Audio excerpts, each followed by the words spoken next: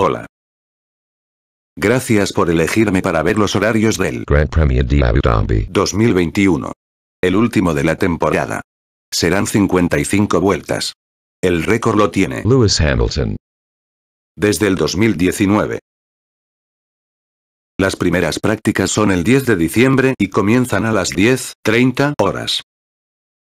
Las segundas son el mismo día también, solo que a las 14 horas.